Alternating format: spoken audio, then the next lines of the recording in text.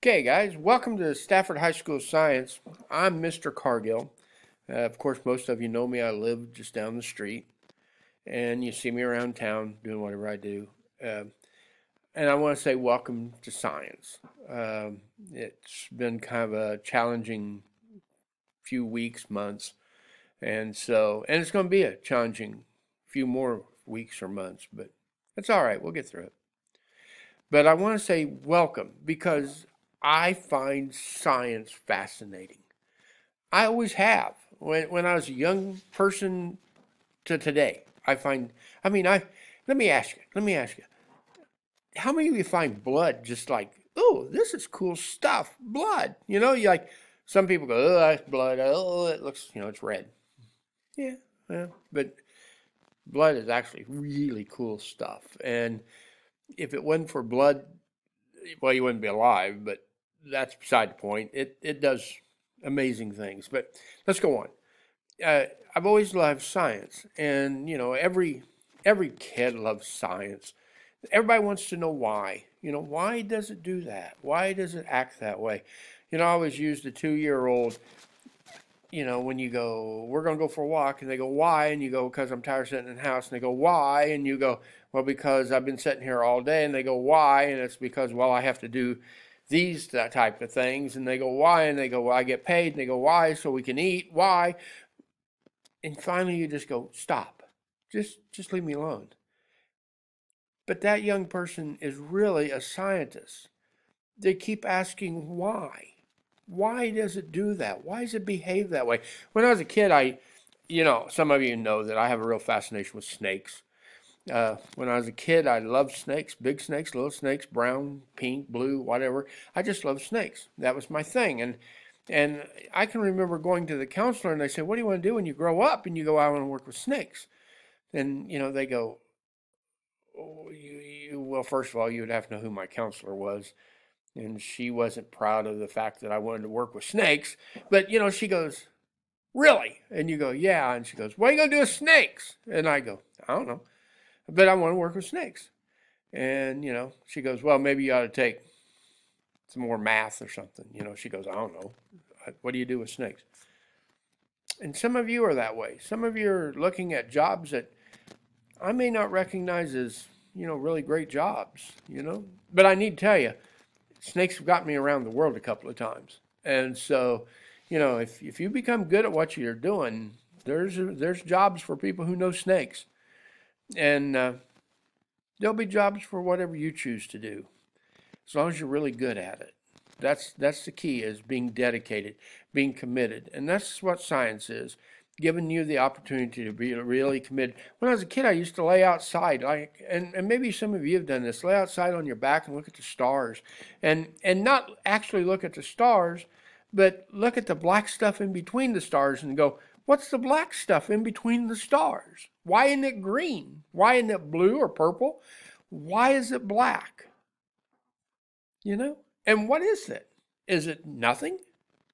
No, there's stuff there. What is it?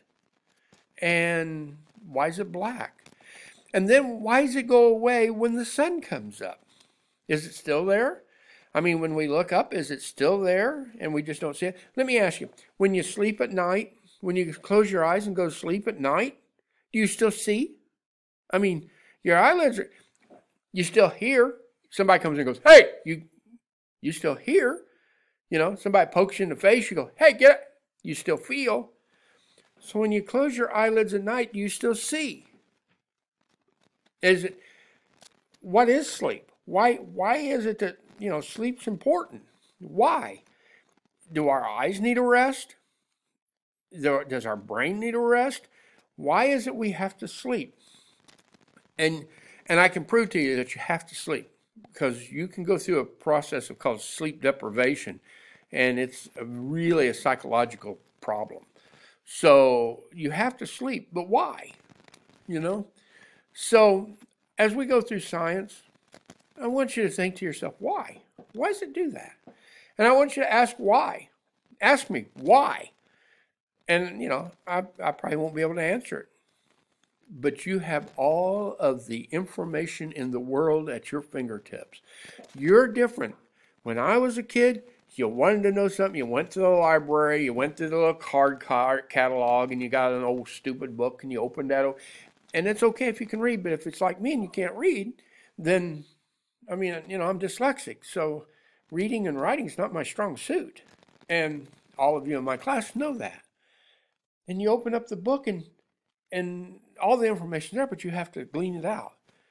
Man, you live in a world where technology is right at your hand. You have all the information in the world right in front of you. You can learn anything you want to learn. You want to learn how they can tomato soup? There's a video, I suspect. You want to learn what an I2C interrupter is? I know there's a video for that. You live at the world where all the information in the world is at your fingertips. And we set it in a classroom, and in that classroom, we, you know, spurt out information, and we expect you to regurgitate it whenever we ask you to. I would like to change the model of science here. I would like for it to be something that you find interesting, that you look forward to. You shouldn't have to say, oh, I've got to go Cargill's class now. And that's what y'all say. I got to go down Cargill's class. I don't want you to say that. I want you to say, man, I get to go science next. And this is what I'm doing in science. I'm changing the world, at least my world. Anyway, that's welcome to science, I guess. Um, as you come in and we go through this situation, some of it's online. I understand that. That's not the perfect situation. I got that. But it doesn't mean you can't go outside and, and investigate the world. It means that you may have to do it by yourself. But you know you can you can still do science. It's not because well i have to sit in the classroom wait for the zoom to show up. No. You don't have to. I'm willing to let you work on stuff you want to work on. You know some of you are fascinated with cars and that's great. Do you know how cars work? Do you? What when you put that little key in the ignition and you turn it on what does that mean what does it mean? Why does the car start? Oh, you're going to say because the battery's good. Now, that's not why the car starts. No, sir. No, sir, because I can start a car without a battery.